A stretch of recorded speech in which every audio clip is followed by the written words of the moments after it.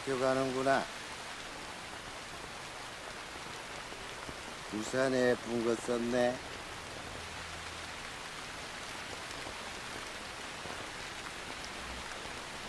아저씨 우산 좀 씌워줄래? 이게 학교에 늦어서